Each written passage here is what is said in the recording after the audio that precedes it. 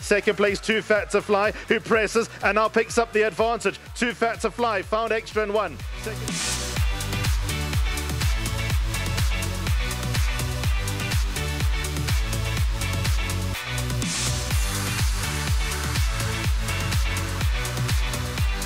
Too Fat to Fly up the outside. Rose in bloom, but Too Fat to Fly is finishing best of all. And Too Fat to Fly wins the first leg of the series.